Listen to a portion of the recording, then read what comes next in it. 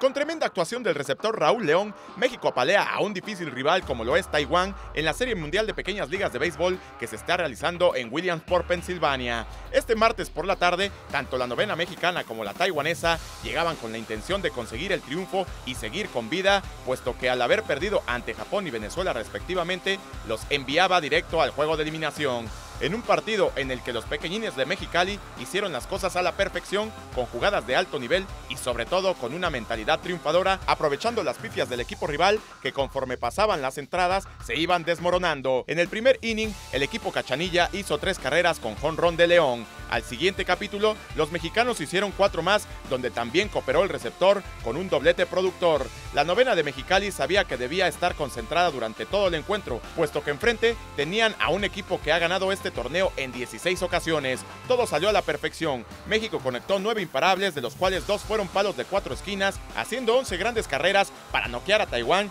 11 a 1 en cinco entradas. Hoy por la tarde se llevará a cabo el duelo entre Japón y Venezuela. El perdedor de este partido se enfrentará a México en la semifinal del grupo y el que salga victorioso esperará rival para la final del grupo de equipos de todo el mundo. Informó para MBM Deportes Pablo Vázquez.